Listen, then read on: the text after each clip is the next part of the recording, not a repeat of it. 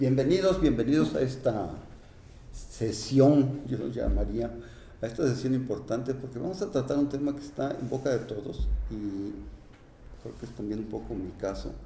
Todos oímos escuchar de él, pero no sabemos el detalle en realidad. La reforma judicial que ha propuesto el presidente Andrés Manuel López Obrador, que está empecinado en que salga esa reforma como él quiere, sin que le cambien una coma, como es su, costumbre, y de la que todo el mundo está hablando, porque ahora resulta que puede ser que todos terminemos participando en elegir a los jueces. Bueno, ya hablaremos de, esto con, con los especialistas que tenemos en la mesa, quienes les agradezco que estén con nosotros. Empiezo por las mujeres, porque una cuestión de educación, Monserrat de Alba que está con nosotros, Rosalita Rojas, gran amiga, Misael Hernández y Eduardo Morales. Eh, obviamente, miren, tengo aquí el currículum reducido, muy reducido de cada uno de ellos. Si lo leo nos llevaremos todo el programa. Entonces, eh, nada más eh, me contento con decirles que son especialistas en el, en el ramo del derecho. Misael es, es juez, juez de distrito, juez federal en, en, Jalapa. Monserrat también trabaja en los, en los tribunales. Rosail da una catedrática muy reconocida, además de, abogada, y un, un, abogado litigante, vamos, que es como, les decía yo que para la, para la carrera de, para quienes somos periodistas, el, el grado máximo del periodismo es el reportero, ¿no? En este caso yo pienso que para los abogados es el, el litigante es el que las sabe todas y el que las sufre todas, ¿no? Pero bueno, ya, ya veremos. Eh, eh, empiezo con el tema, empiezo con el tema directamente, reforma judicial. Y la primera pregunta, Rosaila, si me permite, es, ¿se tiene que hacer una reforma judicial? O ¿Sí es necesaria, es indispensable, es urgente o no? Bueno, yo la verdad creo que tal y como está, la, la propuesta me parece que eh, me parece que no, porque eh, de inicio eh, se propone la reforma de varios artículos, el 17, el 20 constitucional, el 94, el 95, el 96, el 97, el 98, y así sucesivamente diversos artículos a la Constitución. Y la verdad no, me, no creo en los términos en que está planteada, porque de una lectura minuciosa a las 142 páginas que me leí, de verdad muy detenidamente, creo que no, porque hay afirmaciones totalmente eh, que no comparto porque, porque en una de las páginas, en la exposición de motivos, dice que hay que combatir la corrupción, que hay que combatir el nepotismo, que hay que combatir, que combatir las malas prácticas que están al interior del Poder Judicial Federal. Y así lo dice la reforma. Eh, de, modo que yo no creo que sea necesaria una reforma en los términos en que está planteada. Yo sí eh, coincido en que los órganos jurisdiccionales deben de fortalecerse, sí, sí coincido en que la reforma eh, en esta en los términos en que está planteada no lo veo, no lo veo conveniente, Primero porque el artículo 17 de la Constitución, que establece justamente el acceso a la justicia como un derecho humano, y en el que se establece justamente que, que, creo que es, es, un absurdo lo que dice la, la, reforma, porque además el 17 y el 20 que fueron reformados en el 2008, eh, en la gran reforma penal en el que se abrió el sistema acusatorio y donde los imputados y acusados tienen tienen derechos y donde se dice en el artículo 20 que eh, efectivamente se va a hacer la reforma porque los órganos jurisdiccionales no han dictado sentencia en los términos previstos por la ley y que entonces se hace falta esta reforma. Entonces yo no lo comparto porque si bien es cierto, en el, en el artículo 20 establece que, que eh, se debe de juzgar antes de los cuatro meses si la pena de prisión no excede de dos años de prisión eh, o la pena de imponer y antes de un año, en, eh, si el delito excede de, los dos años de prisión. Y me parece que, que, es absurda esta reforma porque no da datos respecto de esto que estoy diciendo. Y todos sabemos que hay muchas personas que están privadas de su libertad están privadas de su libertad y que tienen no uno ni dos, sino que tienen muchos años, pero que eso no es obvio atribuible a un poder judicial tal y como lo está planteando la reforma, sino que es atribuible justamente a las fiscalías o quizá a los defensores que no han impulsado precisamente los procesos judiciales o a las fiscalías, porque el Código Nacional de Procedimientos Penales establece plazos y esos plazos tienen que ser respetados. De manera que no comparto la reforma, solamente me voy a dedicar a estos dos artículos. Eh, seguramente mis colegas hablarán de, de, todo lo demás y menos aún puedo compartir una reforma donde, donde evidentemente se dice y se dice en los foros que es porque liberan delincuentes, pero la verdad, toda persona tiene el derecho a la presunción de inocencia. Y es el Ministerio Público el que tiene la carga de la prueba. Y es el, órgano eh, jurisdiccional, sea local o sea federal, el que debe resolver precisamente si una persona debe de ser condenada o no. ¿Qué tanta corrupción? Es que hablemos del, proyecto de decreto dice que, bueno, el sistema judicial es un sistema viciado, que es un sistema que no tiene remedio, que todo es este, por medio de dinero, por ¿qué, tan viciado está? Personalmente, en los años que yo he, podría decir, vivido el Poder Judicial de la Federación, podría testiguar que no, no he visto corrupción en los órganos en los que he trabajado, en los órganos cercanos. Y esto tiene que ver con una garantía muy, eh, muy fuerte, una herramienta que tenemos para garantizar la corrupción. Se llama carrera judicial. Cuando tú tienes un trabajo que para, para llegar a él tuviste que pasar muchísimos filtros, tuviste que, eh, que pasar exámenes, competir entre otras personas, y en ese momento llegas a obtener una plaza, y lo puedo decir incluso de secretaria de juzgado te ha costado llegar ahí y además tienes un sueldo competitivo. Eso te hace pensar dos, tres, cuatro, cinco, seis veces antes de acceder a una corrupción. Entonces, en términos de que haya eh, dádivas o, que se cobre algo por la, atención a las personas, no la hay. Eh, no es que haya un eh, asunto que se acuerde más rápido que otro, actuamos conforme a la ley, tenemos 24 horas, a veces menos, para acordar lo que se nos presenta. Entonces, yo honestamente no metería las manos al fuego por nadie, pero no puedo afirmar que haya una corrupción generalizada. Si existe, está focalizada y se debería atender por casos concretos. Bien. ¿Y qué diría el, el, que sufre a los jueces, el, el abogado litigante? No, no sufrimos a los jueces, aprendemos de ellos, como siempre. Mi respeto de aquí al juez distrito, qué bueno que abrió el panorama de venir aquí a platicar en un entorno, ahora sí, de paridad, la verdad, mi reconocimiento mucho al doctor. Eh, ¿Es necesaria una reforma judicial? Sí, evidentemente que hace falta. Hace varios años eh, decía el secretario de la Escuela Libre de Derecho de la Ciudad de México que cómo nos veríamos dentro de 100 años había miles de abogados, debió de haber sido una sociedad justa. No tenemos una sociedad justa, es una sociedad injusta, una sociedad irresponsable, una sociedad ignorante y una sociedad con muy poca educación política. Yo creo que desde ahí viene el problema. Cualquier persona, y lo digo con tristeza porque yo voté por este presidente que actualmente tenemos diversos conflictos, eh, yo fui de los primeros que promovió aquellos amparos por salud contra su programa maestro para la vacunación del COVID, cuando aludió aquella vez en el Palacio Nacional de que había unos cuantos abogados que habían promovido esos amparos, iba, era para mí también. A mí me llamó traidor a la patria. De verdad hay entrevistas ahí en otros medios donde yo sí di el grito en el cielo y decía, yo no, yo no traicioné nada. A mí que me demuestre que yo he cometido un delito o algo, pero la verdad ha sido una situación increíble. Independientemente de las consecuencias políticas que eso ha traído, no tiene que ver con la cuestión de que sí hace falta, inevitablemente, inexorablemente, que nuestra justicia sea mejor. El doctor y, el, ministro en retiro, Diego Valadez, nos daba una situación que el INEGI no lo propone, tampoco el Consejo de Judicatura ni la Suprema Corte lo ha desarrollado. Tenemos el índice más bajo en el mundo de jueces eh, por población per cápita. Un juez por cada 100.000 habitantes. Es bajísimo, de verdad. Nos gana Guatemala. Guatemala tiene dos jueces por cada 200.000 habitantes, por cada 100.000 habitantes.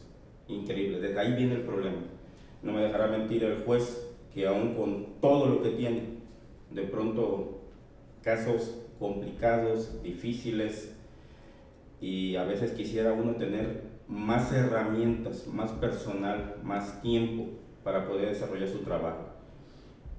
Si queremos una reforma judicial, no entiendo por qué por venganza, y lo digo así, porque me suena capricho, venganza, quitar a estos para poner a otros. O sea, ¿por qué no ampliar y poner más jueces? Creo que esa sería una gran solución. Y aprovechando la mesa, como lo he expuesto también en otros foros, que sea como sucede en España con su Tribunal Constitucional, tripartita. Una tercera parte viene de la academia, otra tercera parte viene de la judicatura y una tercera parte viene de los abogados litigantes. Esa es la reforma judicial que nos hace falta. Queremos, como decía antes aquí el juez que nos estuvo comentando, nos, nos estuvo enseñando previamente, queremos que de pronto el Poder Judicial del Estado sea como el Poder Judicial de la Federación, desde luego. Nunca he entendido por qué de pronto hay lugares donde están conjuntamente las instalaciones y la primera línea de defensa en la impartición de justicia es el Poder Judicial. Y son a veces, suena muy feo lo que voy a decir, parecen cuevas. Yo fui autoridad en Coaxacualcos y los pobres juzgados, como los tenían allá, la verdad, parecían menos juzgados. Y en cambio el Poder Judicial de la Federación, un edificio inteligente, mucha seguridad, muchos recursos, bien pintaditos, bien arreglados, mucha especialización. Entonces, nunca he entendido por qué esa forma de perversión, digo algo muy fuerte ahorita, de prostitución judicial, ¿por qué tiene que ser tan horrible ir a los juzgados del fuero común? Los únicos que he conocido en mi vida que la verdad están impresionantes, los de la Ciudad de México son buenos, pero están rebasados. No, es una... Parece que están regalando dinero. Eso la verdad lo pongo en otro nivel. Pero por ejemplo, los que yo conocí en Zapopan, del Poder Judicial eh, de Jalisco, impresionantes. Es un estadio donde es el panóptico, donde uno llega al, al lugar, se ven todos los juzgados. 32 juzgados en una especie de estadio. Está junto al estadio anteriormente, otro hora Unilife, en Zapopan. ¿Por qué no? ¿Queremos una reforma judicial? Sí, porque la verdad nuestra sociedad está muy injusta. De verdad, eh, ahorita me preguntaban previo qué materias litigo. Casi todas, hasta el internacional. Pero si ustedes buscan, por ejemplo, aquí en el estado, quienes llevamos internacional, tal vez algún otro. Y se acabó. O sea, también desde el punto de vista de nosotros los litigantes falta mucho, muchísimo también de prepararnos. Igualmente del Poder Judicial. Si es cierto, si hay corrupción, yo también he denunciado casos, inclusive federales y estatales. Sin embargo, eso no priva que haya unas manzanas podridas, que de pronto todo esto se haya pervertido pero que hace falta una reforma donde haya más jueces, mejores este, instalaciones, más capacidad de llegar a resolver los problemas, es necesario. Creo que de origen hay algo ahí, si me permiten, y abuso un poquito del tiempo. Siempre me ha impresionado la historia. Por hacer del destino me impresionó lo que sucedió en el 68 y lo veo así. En el 68 de pronto todos los que están de sobrevivientes tienen un perfil que dije, ah, pues ha de haber sido el movimiento de los genios. Hablan varios idiomas, dominan esto, el otro, y los he conocido, he estado con ellos. Y ya después me puse a investigar, bueno, ¿qué pasó con nuestro sistema educativo? Es que antes exigía para titularte, aparte de tu lenguaje nativo del español, otros dos idiomas. Tenías que saber de salud, tenías que saber de derecho, tenías que tener un perfil, pues por eso. Ahí está el principal problema de esta reforma. Remato con eso mi primera participación. No es posible que el voto de los que estamos aquí presentes sea lo mismo de los que están allá afuera. Suena muy feo, pero es cierto. A ver, voy con el, con el juez. Eh, casi doctor, doctorante. ¿Es, ¿Es tan fácil llegar a ser juez como dice el presidente? De que pues como una recomendación y si eres primo de no sé quién y ya te, te nombran un juez y luego magistrado y ya llegas a presidente de la Suprema Corte de Justicia. ¿Es, ¿Es tan fácil? Claro, muchas gracias primero por la invitación, es un placer estar con ustedes. Gracias. Eh, yo quisiera aclarar primero que se habla de un poder judicial, pero tenemos que hacer una gran e importante división. Una es el Poder Judicial Federal y otra es el Poder Judicial de los Estados. ¿Por qué? Pues porque no dependen del mismo organismo. Los federales, pues dependemos los jueces del Consejo de la Judicatura Federal, que con una reforma constitucional se creó precisamente como ese órgano colegiado para que pudiera administrar, vigilar e incluso sancionar a los funcionarios. Ahora, sí hay un consejo de la judicatura de cada estado, pero aquí voy a intentar hablar de los dos. Mientras para ser un juez federal es falso que se necesite contactos, es falso que se necesite alguna recomendación. Eh, la verdad es que hay algo que como aquí este, la maestra Monse Rapp este, refirió, se requiere la carrera judicial en algunos supuestos, porque ahora eh, ya también hay concursos que se denominan abiertos, en donde se apertura esta posibilidad para ser juez académicos, litigantes, personal del Poder Judicial de los estados y al personal del Poder Judicial de la Federación. Pero no es fácil, en los concursos cerrados debe haber una, forzosamente una antigüedad, eh, no recuerdo el dato, si son cuatro o cinco años de secretario de tribunal colegiado, de juzgado de distrito, de tribunal de apelación, para de ahí poder concursar para ser juez. Son tres exámenes. Honestamente, y se lo digo aquí al público, son de las experiencias más difíciles que yo he vivido en toda mi vida, porque es una, un estrés muy, muy, muy alto, porque no dejas de trabajar, no, debe no deja de haber las exigencias propias de tu trabajo. ¿no? En este caso yo estaba secretario de un juzgado de distrito y tenía que cumplir mis números de proyectos, tenía que revisar mis asuntos, mis acuerdos, todo eso pero aparte tenía que estudiar y tenía que seguirme preparando para los exámenes. Y generalmente los exámenes son en la Escuela Federal de Formación Judicial en la Ciudad de México, en las instalaciones, en donde hay mucho, mucho, mucho rigor. Eh, somos vigilados constantemente de todo lo que estamos haciendo. Y al final, bueno, pues eh, van a salir vencedores las mejores calificaciones, pero que hayan pasado con la calificación mínima probatoria que es de 8.5, si no mal recuerdo. Entonces, si alguien sacó un 8, ya promediado final, ¿qué creen? No entra. ¿Por qué? Porque no pasó el examen. Entonces, aquel que sacó 8.6 pasa el examen, pero aparte tiene que ver que sea de las mejores calificaciones para el número de plazas que se están concursando, que muchas veces quedamos fuera por no ser esas mejores calificaciones. Entonces, ese es el Poder Judicial Federal. Ahora, el Poder Judicial del Estado. ¿Cómo se nombran generalmente? Y voy a hacerlo así porque no conozco todo. La verdad es que es por dedazo. Ahí sí, el gobernador designa quiénes son. ¿Quién le indica? Pues el presidente o presidenta del Tribunal Superior de Justicia, que al final de cuentas van a ir poniéndolos y no solamente los ponen, sino los remueven a conveniencia. Y bueno, un caso muy, yo lo voy a decir así, histórico, es que no solamente los remueven, sino que les fabrican delitos. Y tenemos, lamentablemente, la historia lo va a decir, en el estado de Veracruz, un caso muy, muy sonado, en donde incluso la Defensoría Pública Federal ha intervenido a fin de poder salvaguardar los derechos de las personas. No estamos hablando de delincuentes, ¿por qué? Delincuente es cuando ya hay una sentencia, que así lo determina. Mientras no haya eso, hay un principio fundamental que se desconoce desde Palacio Nacional, que es la presunción de inocencia. ¿Cómo es? Como lo comentó aquí el colega abogado, lo llamaron traidor a la patria. Para todo mundo que siga esa ideología sería un traidor a la patria. Pero no ha habido, salvo que me diga lo contrario, que haya una sentencia que yo lo haya declarado así. Por tanto, para mí no es un traidor a la patria.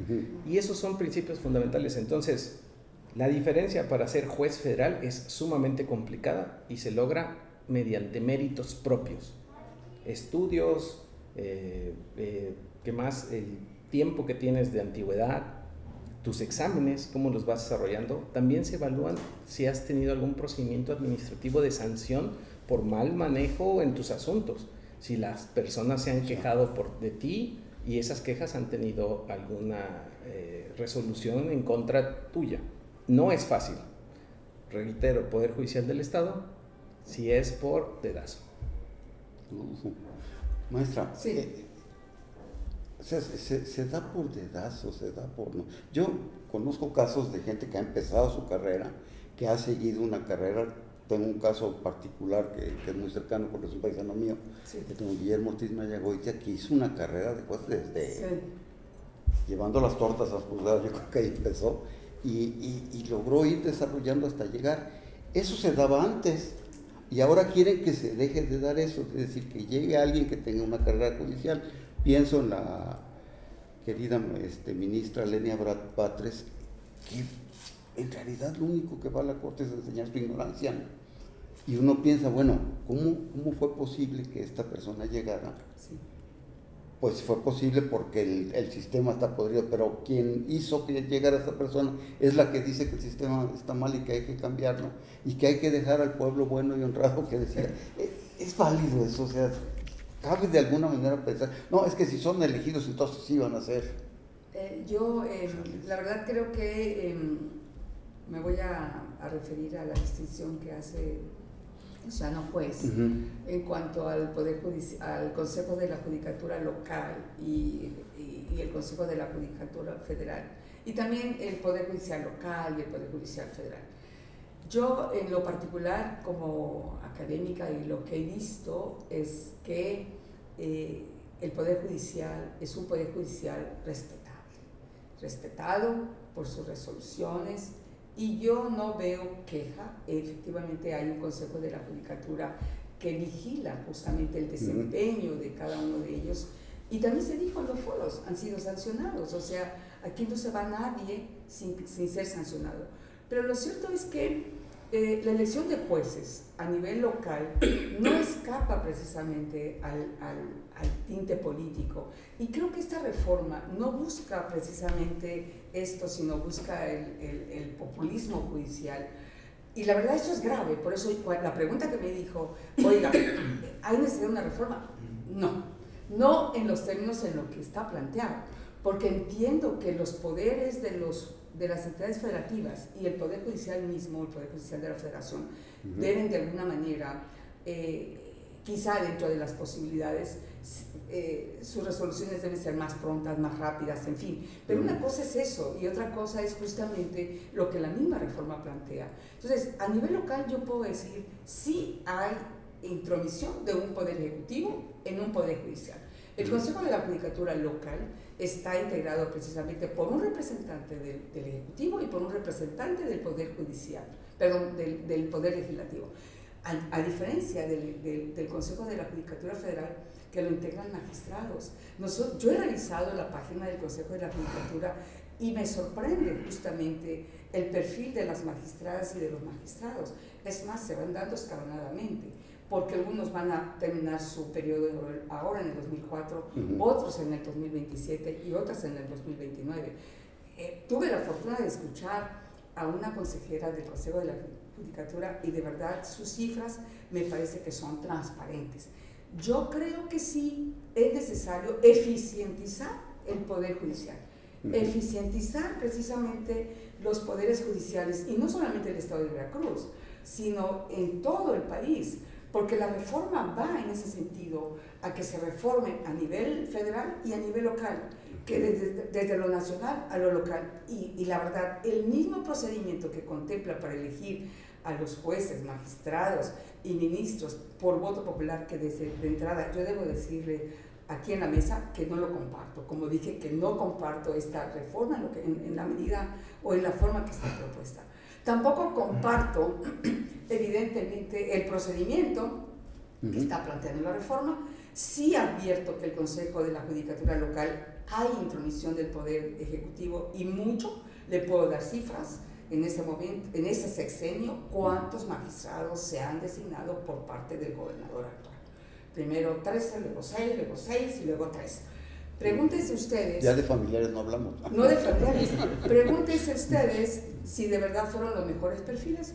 Yo lo dejo sobre la mesa, pero creo que lo que debe hacerse sí es democratizar la justicia, sí lo que necesitamos es eficientizar, sí necesariamente es que el artículo 17 sea una verdadera, verdadera realidad, el acceso a la justicia como un derecho humano, pero no en la forma que está planteada porque para eso está la Constitución. Y entonces a mí me sorprende que una reforma constitucional que se plantea ahora, donde el artículo 17 y el 20 ya fueron objeto de reforma desde el 2008 y se han ido y, haciendo reformas eh, posteriormente, y no vamos a lograr precisamente, la reforma no va a lograr lo que está planteando ahí.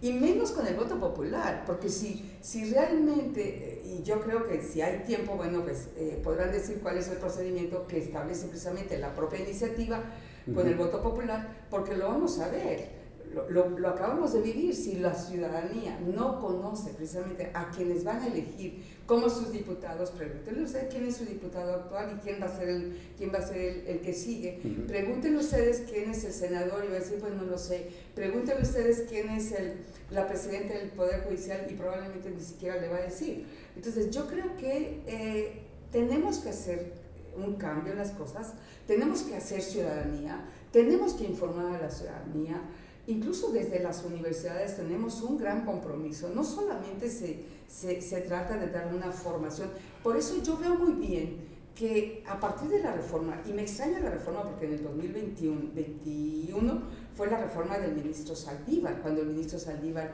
era precisamente el presidente de la Corte, y pasó esa reforma, y yo dije, wow, es una excelente reforma, se crea la escuela judicial, se hace más énfasis en la carrera judicial, y además, cuando se reformó la Constitución, se reformó la Ley Orgánica del Poder Judicial de la Federación, la Defensoría Pública se fortaleció, los defensores se fortalecieron, pero no ahora así como está, no por el voto popular, no lo vamos a lograr, no vamos a lograr buenos resultados, precisamente porque la ciudadanía no es que la sociedad sea para mí injusta, la sociedad y la ciudadanía tiene que tener información, debe estar informada, debemos crear ciudadanía para que ellos digan, si le ponen a una persona eh, que no conocen, ¿Ustedes creen que los electores ahora, el 2 de junio, revisaron los perfiles de los que iban a ser sus diputados? Revisaron precisamente que la diputada por el distrito de Jalapa, de Centro Jalapa, eh, vieron qué fue lo que hizo, qué, qué actividades realizó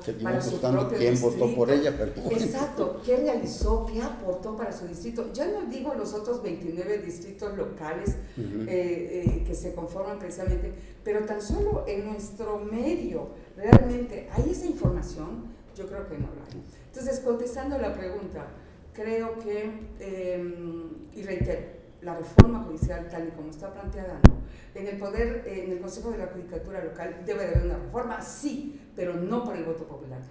Que deben de, que el poder, que el poder ejecutivo debe de salir del, del Consejo de la Judicatura, sí, porque no debe de haber intromisión del poder judicial, ni, perdón, del poder ejecutivo y del poder legislativo, como sí eh, lo hace el Consejo de la Judicatura Federal, donde son los magistrados los que forman parte de ese Consejo de la Judicatura y que son personas con una hoja de vida respetable, con, un, con una trayectoria profesional y con, eh, una preparación que además evidentemente conocen, porque, no solamente maneja la disciplina, judicial o de los operadores jurídicos, sino también toda la, cuestión administrativa.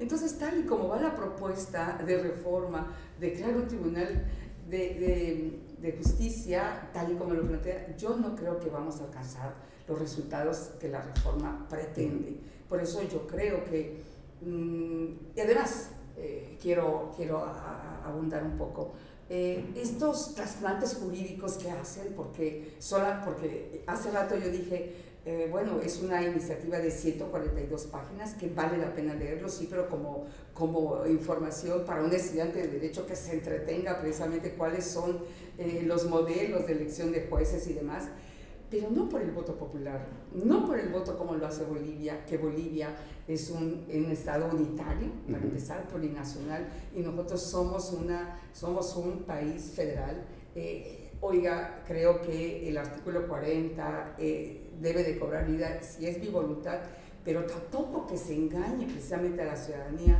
de que votó el 2 de junio y que votó por este, este, este, este esta reforma judicial. Creo que ahí tenemos que informar a la ciudadanía que eso no es verdad. La ciudadanía no conoce esta reforma.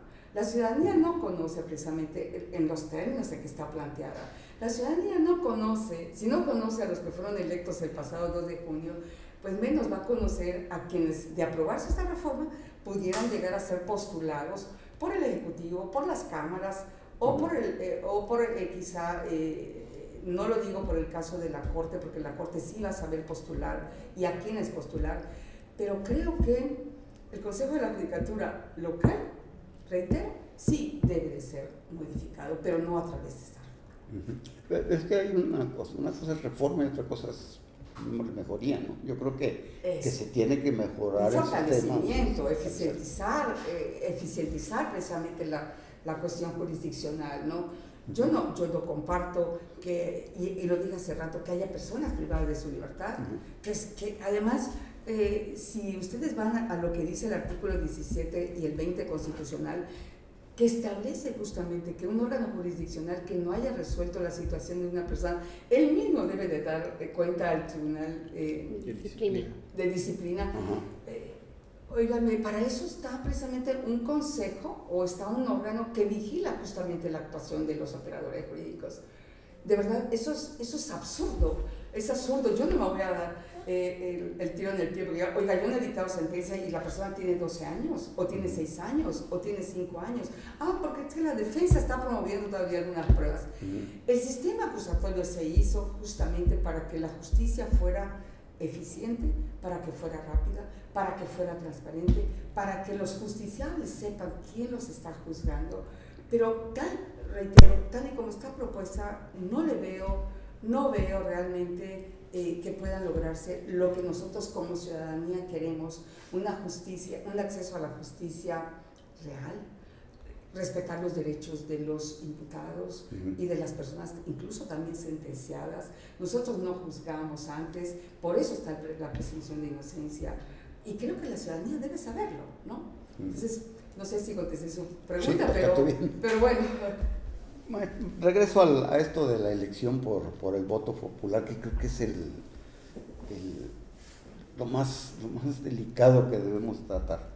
En el caso de usted, lleva una carrera, fue a empezar una carrera judicial, y de repente, ¿cómo le queda que le digan que, bueno, ya no va a ir subiendo los escalones de, de esta carrera judicial?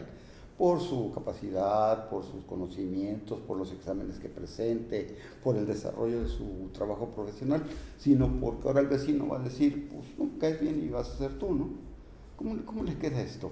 Mire, la verdad es que esta reforma que propone eh, arreglar el sistema de impartición de justicia por cambiar a las personas que lo encabezan, es una propuesta simplista para problemas más complejos. Y se lo pongo a la sociedad en un ejemplo muy sencillo. Este, eres una persona que tienes tu chofer y vas en tu coche y tu coche de pronto se para. Lo llevan al taller y resulta que tenía las llantas bajas, las balatas no le funcionan, el aceite, bueno, digan todo lo técnico que se les ocurre respecto del coche. ¿Qué es lo que tendrías que hacer? ¿Cambiar al chofer? O arreglar el coche con todos los defectos y los problemas que tenga. Lo que tienes que hacer es arreglar el coche. Y esta situación de, la elección popular, eh, mire, yo mi tesis de licenciatura justamente fue sobre que debe cambiar la forma en la que se eligen a ministros y ministras. Porque aquí hay otra cosa, hago un pequeño paréntesis. Eh, en, este, en este proceso de desinformación que desde el gobierno se hace hacia la sociedad, muy mañosamente se tiende a, a confundir ministras, ministros con magistrados y jueces y juezas y, y pretenden siempre hacer, sembrar en la, en, la, población la idea de que todos son una misma cosa y todos se ponen igual. Por cuanto hace a ministras y ministros, eh, es una forma de elección de democracia directa. De hecho, es una elección democrática. Porque nosotros tenemos tres poderes, el ejecutivo, el legislativo y el judicial. La máxima representación de democracia directa es el, el, el ejecutivo, porque las personas elegimos a quién va a quedar en la presidencia, que va a ser nuestro mandatario o mandataria. Es decir, nosotros le vamos a mandar qué hacer, es nuestro representante. Y lo mismo pasa con el poder legislativo. Como no podemos hacer, este, somos una sociedad muy grande y no podríamos ponernos de acuerdo todas las personas sobre cómo reformar una ley, elegimos a ciertas personas que le decimos tú, que aparte eres de mi ciudad y que conoces mis problemas, te voy a mandar a ese Congreso, a, a esa legislatura, a que tomes decisiones por mí. Y una de las decisiones que la población le pedimos al Ejecutivo y al Legislativo que tomen con nosotros es, elige a las personas titulares de la, del Poder Judicial Federal, que solamente es magistra, eh, perdón, ministros y ministras. Pero yo siempre he visto un problema, me parece que hasta ahí está bien, porque es una cuestión de democracia indirecta. Poder Ejecutivo propone una terna, Poder Legislativo eh, de una manera deliberativa elige a la persona que va a quedar. Pero yo siempre he visto un defecto en ese, en ese sistema de designación. Es un requisito invisible que, que, está en la Constitución. Porque los requisitos para ser ministro o ministra son muy claros. Tienes que ser mexicana de nacimiento, treinta y tantos años de edad o más, 35. Luego me confundo entre los de los jueces y los magistrados. Es 35 años, eh, tener licenciatura en Derecho. Ojo, es el único poder de la federación que requiere una licenciatura, los otros dos no la requieren. tener licenciatura en Derecho, tener este, buena reputación, que también vaya a usted a saber qué significa eso. Y, y, entonces, pues yo creo que habemos como 50 mil personas en México que cumplimos con ese requisito. ¿Por qué será tan difícil llegar a ser ministro o ministra? El requisito invisible y que ha sido una falla que ha existido en todos los exenios, no solamente es este, es que por ahí la Constitución no dice que el requisito principal es que te conozca el presidente, que seas su cuate, que seas del círculo cercano. Y entonces yo desde mi tesis de licenciatura he sostenido que se tiene que modificar el cómo el presidente o la futura presidenta propone a las personas que van a ser ministras. Y tiene que ser como todo acto de autoridad, una resolución fundada y motivada. ¿Por qué elegí a esta y no a estos dos? Tiene que ser fundada y motivada y tiene que tener filtros. También considero que es muy valioso que en los órganos colegiados exista participación tanto de, eh, de personas con carrera judicial como personas externas. El abogado lo decía, una, una cuestión tripartita que venga de universidades de, de litigio y de carrera judicial si manejáramos algún tipo de cuotas en ese sentido en órganos colegiados, sería muy enriquecedor para la, para la toma de decisiones. Y entonces podríamos crear un sistema en el que se puedan hacer concursos, que se puedan hacer propuestas derivadas de, estos tres sectores de la, de la, población y que de ahí le digan al presidente, ahora sí, te presento a mis 10 personas candidatas y de ahí el presidente tenga que decir, de estas 10, escojo a la terna y esta sí y esta no, porque sí, por qué no. Eso sí eficiente, eficientizaría mucho más y haría mucho más justo la llegada a ser eh, ministro o ministra. Eh, y por cuanto hace a, eh, a jueces, juezas, magistrados y magistradas, ahí sí la elección popular no, no llevaría a ningún cambio y sí traería muchos riesgos, que es lo que pareciera que eh, pudiera salirnos más caro hacer el cambio y más caro el caldo que las albóndigas, ¿no? Eh, dicen mucho que lo que quieren eh, reformar, que combatir es la corrupción y el nepotismo. Yo se los decía hace rato, por la corrupción. Si eres una persona que te costó trabajo llegar al lugar en el que estás y que tu permanencia depende de que no se te incrimine en un acto de corrupción porque sabes que si te descubren el acto de corrupción, se acaba tu carrera, lo piensas dos veces. Pero, ah, hasta cinco veces. Pero si tu puesto es por elección popular, por una duración determinada de seis años, dicen que el último año es el año de Hidalgo. No lo voy a decir. Este, es una, tienen esa, esa necesidad, y lo vemos en, las, en los otros poderes, de como mi puesto es temporal, agarro todo lo que pueda y me voy porque si me corrompo y me cacho, de todas maneras ya me iba, ya me iba a ir. Entonces tenemos esto, la corrupción sería muy difícil de, de combatir. Y la otra, en el foro que se realizó aquí en la ciudad de Jalapa se habló sobre el Tribunal de Disciplina. Y ese Tribunal de Disciplina podría resultar muy peligroso, porque más que un tribunal de disciplina podría parecer un tribunal de la Inquisición. A ver, es que eh, los problemas que existen en el sistema de impartición de justicia no se resuelven por decreto. No basta que subas a la Constitución ya no va a haber pobres para que dejen de haber pobres. Entonces no basta con que la Constitución diga que un asunto tiene que resolver en un mes y eso no va a hacer que mágicamente se resuelva en un mes. Pero nos están eh, poniendo un tribunal de disciplina que nos va a castigar si no cumplimos con los tiempos establecidos en el decreto. Y aquí hay otra cosa. Eh, yo no tengo el privilegio aún de ser jueza de distrito, lo, lo he intentado y también aquí una acotación. Mencionaba el juez Misael que la calificación mínima, probatoria es 8.3. En el último examen que yo presenté para ser jueza de distrito saqué 9.5 y no quedé. No quedé porque hubieron 40 personas que sacaron más de 9.5. O sea, sepan que son las mejores de las mejores calificaciones. Em, entonces, bueno, eh, que estaba ya me perdí. esta, esta, esta solución, ah, perdón, nos ponen este, este tribunal de disciplina. Muchas personas creen que esta, esta reforma no nos va a afectar a la base trabajadora, a las personas de secretarias para abajo, creen que no nos va a afectar. Pero hablaba hace rato la maestra Hilda de una reforma que hizo el, ministro Saldívar. En términos generales tiene muchas eh, virtudes, pero tiene algunos aspectos que a lo mejor en su momento no, no causaban sentido y lo hacen ahora. Resulta que mi nombramiento como secretaria de juzgado es de base. Pero con la reforma que estableció el ministro Saldívar, el nombramiento de personas secretarias va a dejar de ser de base. Es decir, si yo el día de mañana dejo disponible mi plaza porque me vuelvo jueza, renuncio o cualquier otra cosa, eh, salgo de mi plaza y mi plaza deja de ser basificable, se vuelve una plaza de confianza.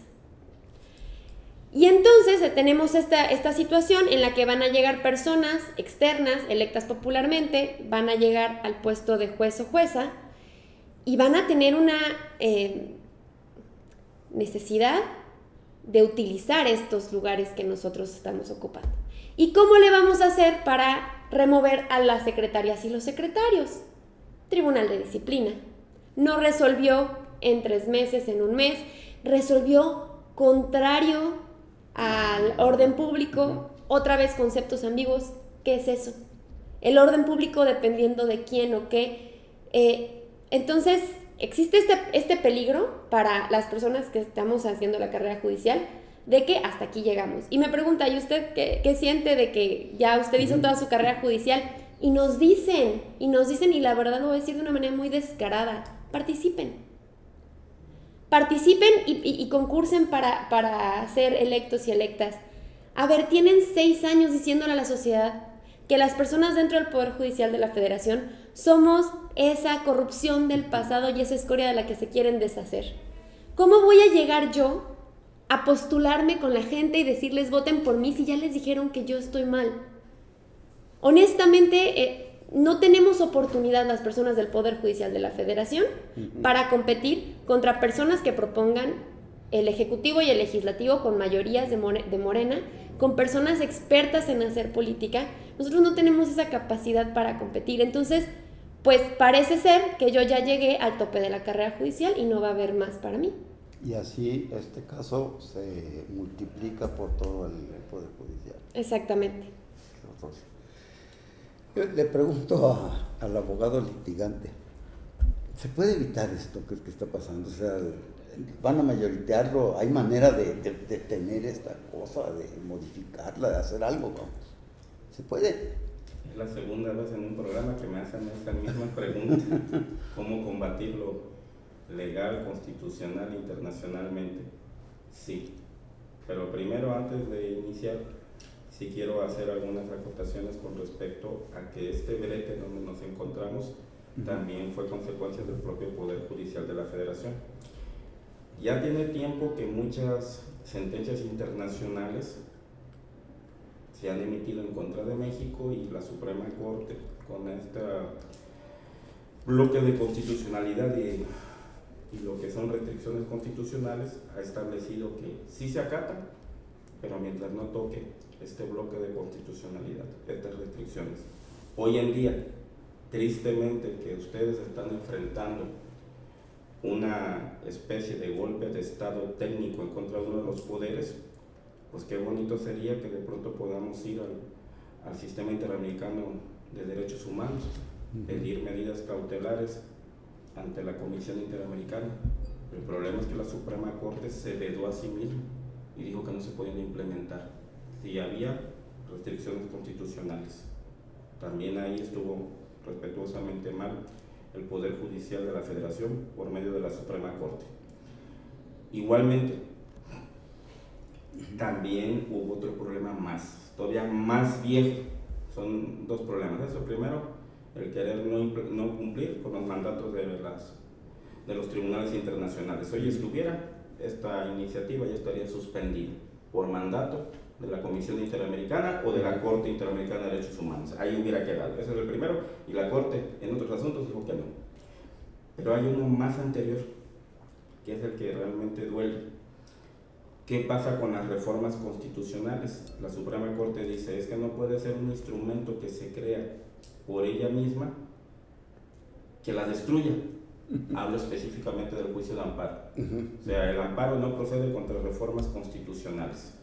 Ahí lo hizo este, Jorge Castañeda, lo intentó, luego le desecharon su amparo, lo admitió la corte y, y, al final no procede, ya de fondo. Perdón, ya cuando se iba a dictar sentencia.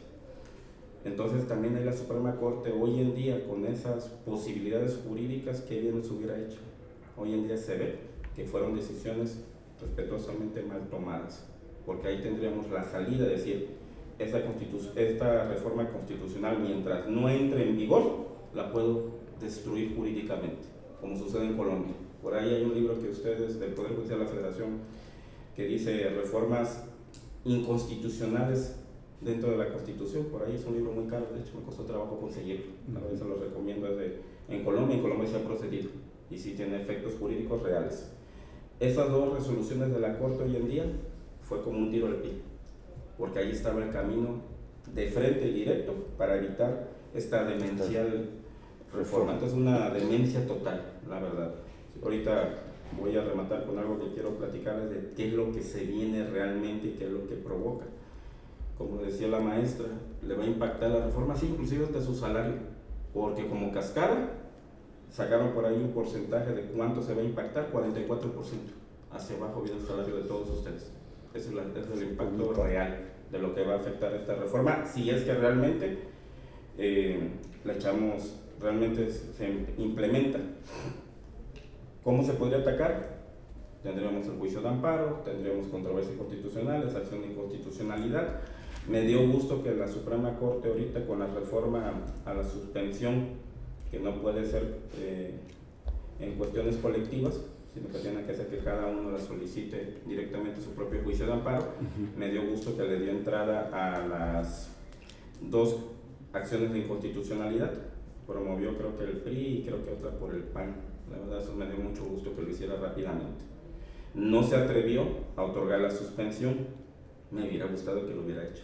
Hubiera sido de una vez. Nosotros somos un poder y nosotros tenemos nosotros somos, como lo dice el lema, Suprema Corte de Justicia de la Nación. No estamos a favor ni de un poder ni de otro. Somos representantes de la nación, somos los guardianes de la Constitución del país. Me hubiera dado mucho gusto que lo hubiera suspendido. Como que hay falta más fuerza jurídica que lo haga. Y tienen todo el apoyo. A pesar de que hay mucha gente que quiere y ha visto la posibilidad de hacer leña del árbol caído, habemos tal vez pocos, tal vez yo nada más, pero aquí está la maestra también. Habemos algunos que sí los estamos defendiendo y no con la idea de que vayamos a vernos favorecidos con sus fallos o alguna situación, no, ni en lo particular con ustedes. Como yo lo he dicho públicamente, no vamos a defender a ningún ministro, ningún magistrado, ningún juez. Es a la institución, porque es la institución que nos ha protegido durante mucho tiempo.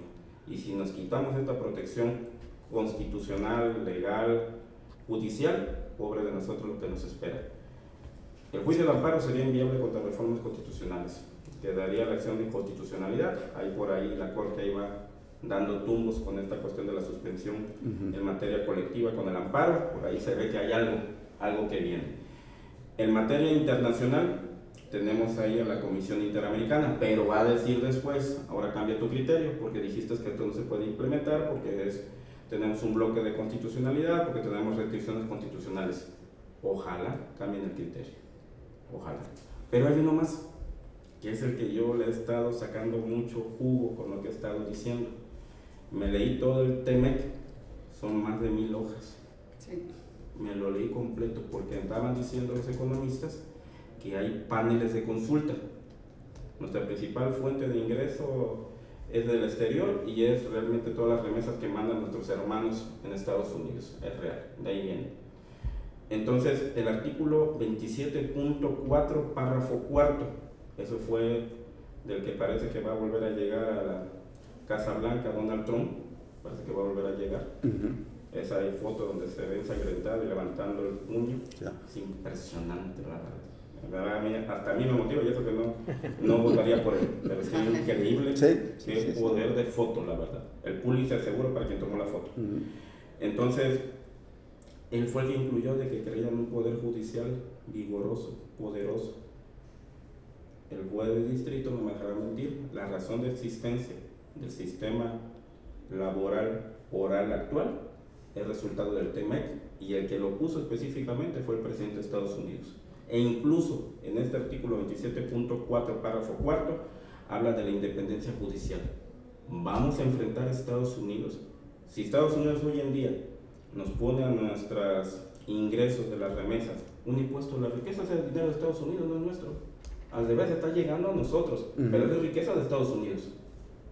Si nos llega a poner un impuesto, nos va a poner de rodillas. no hay manera que México supla esa entrada de recursos si este presidente que llega nos pone esta situación. Y su secretario de Estado, Pompeo, ya lo dijo en Wall Street, lo dijo públicamente. Va a pasar esto, esto, esto y esto.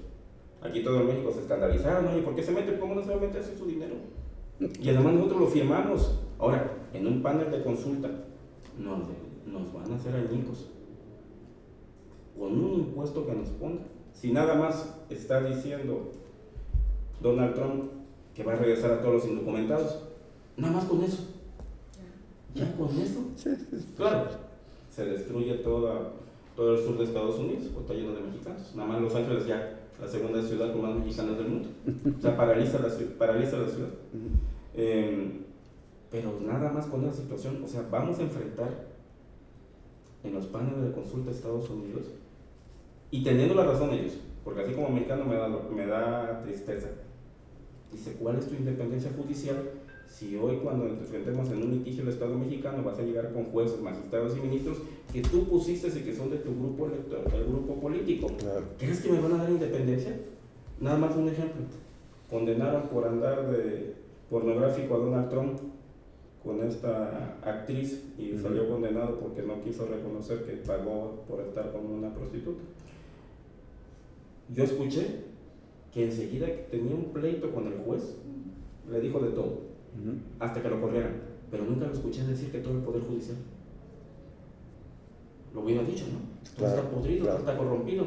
Y al revés, cuando llegó a la Suprema Corte con los jueces, con los ministros que él había propuesto, le dieron todas las facilidades.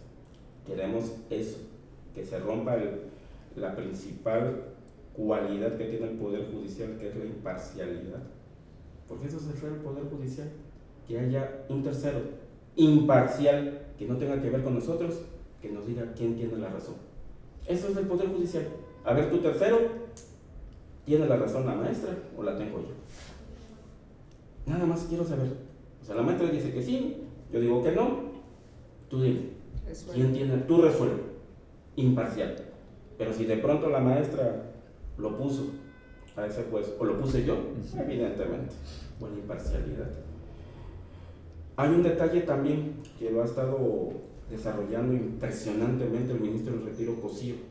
Qué bueno que el ministro ha salido a la palestra, como Morena ha traído al ministro Saldívar, que la verdad se ha portado traidor, yo tanto que lo admiraba, la verdad. De hecho, ya se veía venir, porque él cuando dijo aquella vez que le habían promovido amparo, dijo cuatro Cuatro abogados a nivel nacional proveyeron amparos para que yo no me quedara de, magistrado, de ministro presidente dos años más. Yo fui uno de esos abogados. Eso es que me tiene bien identificado y me ha dado clases. sabe muy bien de que sí me atrevo y me he atrevido. Entonces, ahorita el ministro Cosío dice algo que me ha parecido impresionante que yo no había visto, la verdad. Dos consecuencias gravísimas. Uno, la implementación es logísticamente imposible. Para el puesto de, del juez aquí presente, habría que haber seis propuestas que vinieran tanto del presidente de la Cámara, del Congreso de la Unión y por parte del Poder Judicial de la Federación. Como bien lo dijo la maestra, si todo el tiempo en las mañaneras de seis años estuvieran diciendo que son corruptos, que tienen nepotismo, aunque aquí un paréntesis, no sé de qué se puede hablar de nepotismo, comentándolo con la ministra Batres, si el secretario, perdón, si el jefe de gobierno de la Ciudad de México es su hermano, entonces estaría bueno ahí preguntarle, ¿qué nepotismo hablas? Sí, sí, es tu hermano el que está ahí, pero bueno, eh, tenemos la posibilidad, aquí yo saqué la cuenta y salieron más de 300 puestos que tenemos que votar, 300 por 6, 1800 candidatos. ¿En dónde tenemos el espacio para hacer eso? Tenemos el dinero para malgastar. La otra vez también el ministro Cosío se puso a hacer cuentas con los economistas. Decía una cuenta de 4 mil a 7 mil millones de pesos. Y lo bajó de las, del primer circuito de la Ciudad de México, que es gigantesco, lo bajó a Nayarit, que creo que es el más pequeño, creo que el más pequeño es de Campeche. pero Nayarit creo que debe ser el antepenúltimo, penúltimo de los más pequeños circuitos. Digo, ¿tenemos esa capacidad logística para implementar una votación de este tipo? Imposible, no, no se puede desarrollar. Pero ya llegó a otro nivel el ministro Cosío. Después de este zafarrancho que tenemos, porque ahora sí me impresionó, yo creo que si hacemos mediciones de cuál ha sido la noticia más importante del sexenio, no ha sido la inseguridad, la carestía, la mediocridad de nuestra clase política, ha sido esta. Estamos en la madre de todas las batallas. Toda la sociedad mexicana, todos, eso sí lo puedo constatar, toda la sociedad mexicana ha tenido voz en, en esto del Poder Judicial, a favor o en contra. Que le vale o no le importa, como sea. Pero esta ha sido la madre de todas las batallas. ¿Sí o no? En esta cuestión, después de todo este zafarranche pelea que tenemos, porque sí o porque no, se vayan los jueces actuales, ¿quiénes van a votar? ¿Van a ir a votar? Esa es la pregunta. Ese es el otro punto de vista que viene. Yo lo veo con algo más grave todavía yo juez electoral ahorita, yo magistrado electoral ahorita que tengo que hacer lo de la representación proporcional, voy a votar para un, un candidato, una candidata que ya dijo que llegando me va a quitar de mi puesto, yo me declaré un impedimento. Es un impedimento. Anularía la elección. Lo digo respetuosamente y sé que se me han ido encima con varios comentarios al respecto, pero estarían impedidos porque no, qué imparcialidad yo tengo. Si, si yo voto a favor de que está bien realizada la elección, lo primero que va a hacer esta persona al llegar va a ser quitar. No puedo votar ahí, estoy impedido. Claro. Pues obviamente no soy tan tonto. Pero sí, bueno, pues, eh, ya eh, tenemos el tiempo encima, ya llevamos este pues muy interesantes este, opiniones al respecto. Eh, una última intervención, este señor juez. ¿qué va a pasar? ¿Se van a cambiar, se salen todos los jueces, todos los magistrados, y va a entrar nueva gente de un día para otro. ¿Es, posible eso? Bueno, pues es algo que no sabemos, porque precisamente eh, la reforma, y quiero hablar de ella, el planteamiento está hecho, y, lo voy a decir así, parte de un desconocimiento absoluto de lo que es el Poder Judicial Federal. ¿Por qué? Porque se habla de un poder judicial involucrando solamente al federal, pero no se dice nada de las fiscalías, no se dice nada del el poder judicial del Estado, no se hace nada de la, incluso la colegiación de los abogados, que sería muy importante para ir adelantando esas premisas de que también se les involucre en el, Consejo de la Judicatura, también en la Suprema Corte, ¿por qué no? también ellos se han sentido muy apartados de la judicatura pero hoy lo vemos con la reforma a la materia de justicia laboral. Ellos son parte fundamental. Y si no cambian los vicios que se venían haciendo en las juntas, pues el sistema no va a funcionar. Entonces, se habla de un desconocimiento interno del Poder Judicial Federal Y en general la sociedad no conoce el Poder Judicial Federal. Muchas veces dicen, no me interesa que los quiten porque son corruptos, pero debo dejar en claro, las premisas en las que se basa esta iniciativa son eh, que estamos alejados del pueblo, corrupción, nepotismo. Y yo bajo esas premisas quiero ser muy puntual en el sentido de que no es la regla general. Puede haber corrupción, yo no eh, he visto, no soy partícipe de ello, pero si la hay, creo, y lo ha dicho aquí la maestra, la consejera Lilia Mónica, fue muy específica en decir, ha habido sanciones, ha habido destituciones. Dicen, ¿por qué el Consejo de la Judicatura Federal no mete a la cárcel a los jueces? Pues porque no le toca meter a la cárcel a los jueces. Y porque se vale también que haya jueces rectos, que haya jueces que les guste su trabajo, que les apasione lo que hacen, que luchen día, noche, de madrugada junto al personal que tienen a, su cargo por la implementación de una justicia real diferente. Y lo hay. Y eso puedo decir, es la mayoría de, las, de los funcionarios. Ahora, ¿de dónde salen los datos de corrupción? Me gustaría que me dieran un dato específico de corrupción de los jueces federales. Recordemos, ¿cuál es la función del juez? es el árbitro. Nos gusta el fútbol, es el árbitro en el partido, ¿no? Ahora, cuando me dicen, eh, y por ahí lo puse en redes sociales, va a iniciar la Copa América, yo a, modelo de broma puse, ¿cuándo nos van a decir por qué árbitros vamos a votar? Para evitar penales inexistentes. Y yo sentido con la final del penal que le marcaron a mi Cruz Azul, que no era. Dice, bueno, si entonces votar por árbitros para los partidos va a evitar que marquen penales inexistentes, ah, pues votemos, ¿no? Pero no es cierto. ¿Cuál es el mejor ejemplo? Pues el Ejecutivo, el Legislativo, que tienen una participación directa democráticamente hablando, y, este, y hay corrupción, hay nepotismo, hay tráfico de influencias. Claro que lo hay, lo vemos, es un hecho notorio. Incluso en el conversatorio que hubo aquí en, esta, en la ciudad de Jalapa, el creo que es este ahora senador o como se están cambiando, senador, diputado Monreal, se puso a hablar de nepotismo. y yo decía, espérame, tu hija está ahorita como este alcalde. Tienes una familia en Zacatecas, realmente todo de, de política y entonces yo lo que quiero entender y decirle a la gente, por favor pongan atención, nos quieren engañar, están jugando con un desconocimiento general. Y no es porque el Poder Judicial lo sepa todo. El Poder Judicial sabe de lo que hace y a lo que se dedica.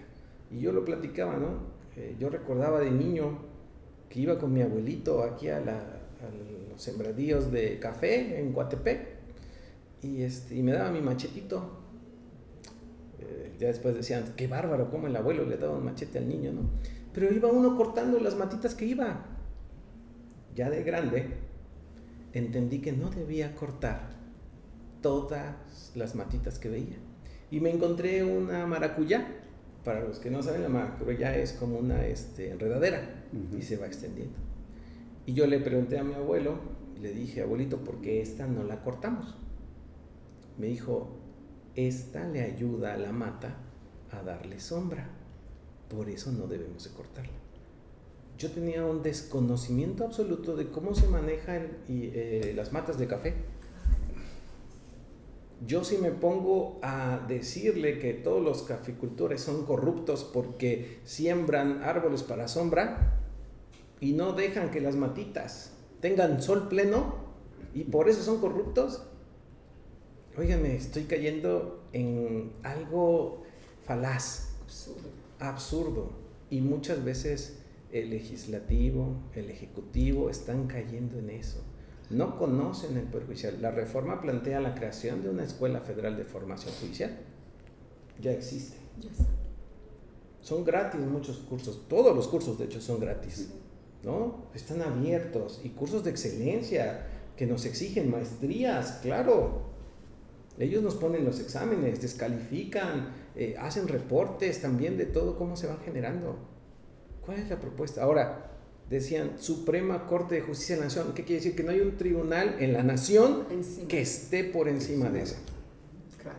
¿Qué quiere decir la reforma? No, vamos a poner otro tribunal de disciplina que esté arriba de la Suprema Corte para que pueda sancionar a los ministros, magistrados, eh, jueces sobre cualquier cuestión que no sea para el interés social.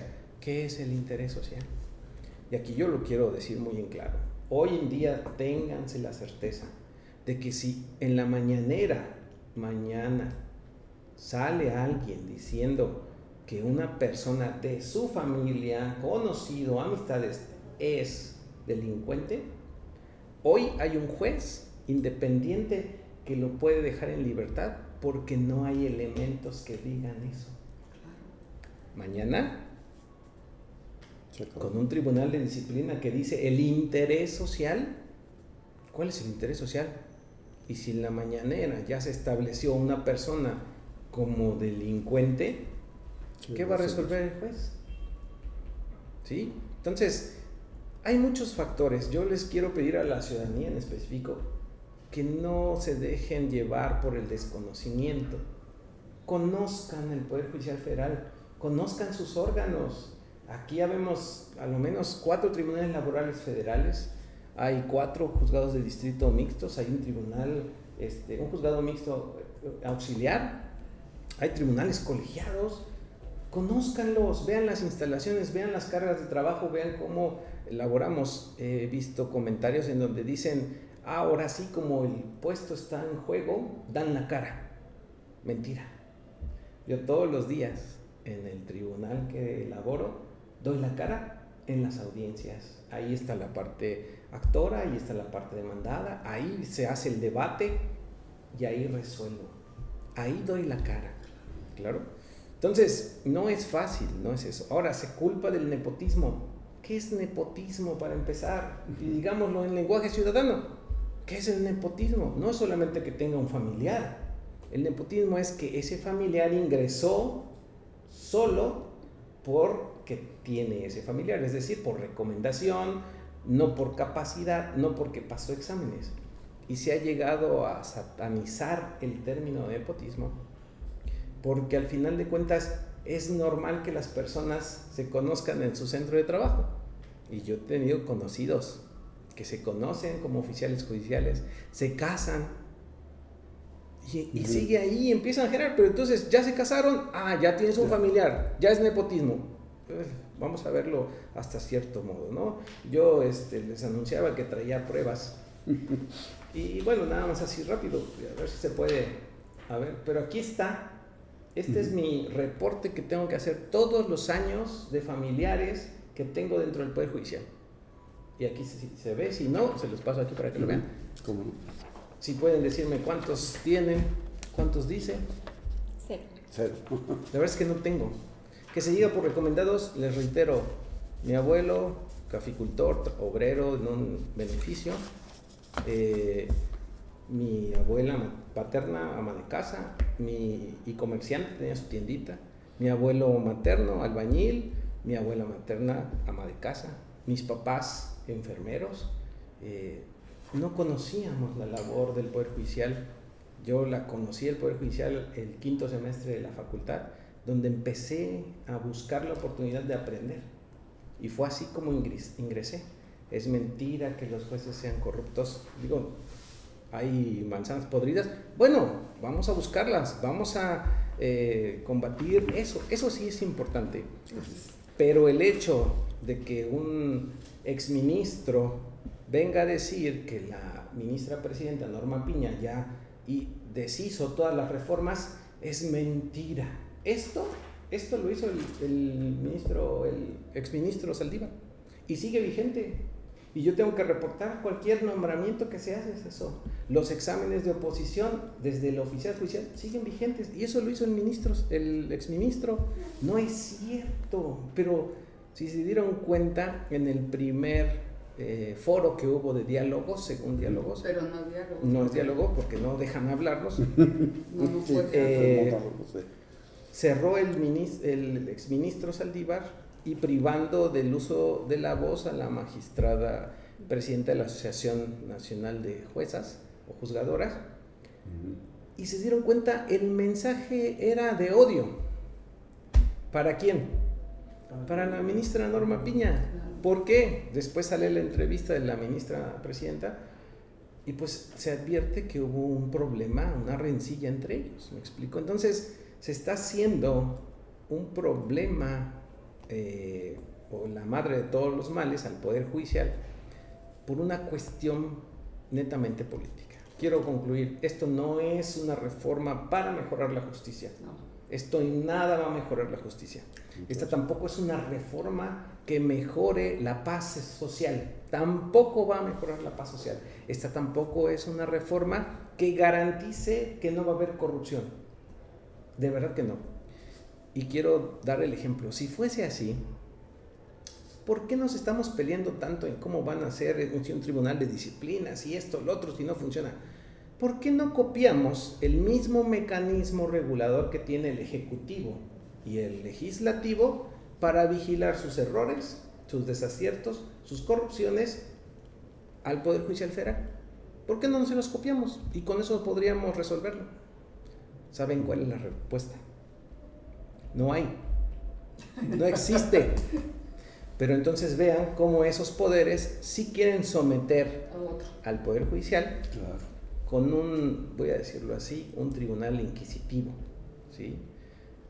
Concluyo, otra diferencia, no nos confundan, ministros, su selección es netamente mediante el presidente, como ya lo dijo aquí la maestra, eh, no es, incluso no forma parte de la carrera judicial ser ministro, carrera judicial es de oficial judicial hasta magistrado de circuito. Y bueno, una de las cuestiones también diferentes es el punto medular de que los jueces y magistrados sean elegidos por voto popular va a permitir que se les dé, se las dé las mismas exigencias que a un diputado y a un senador en cuestiones de productividad y eficiencia. ¿Cómo se califica la productividad y la eficiencia de un diputado y de un senador? No hay mecanismo. No hay. ¿Cuándo ven al diputado y al senador? Nunca.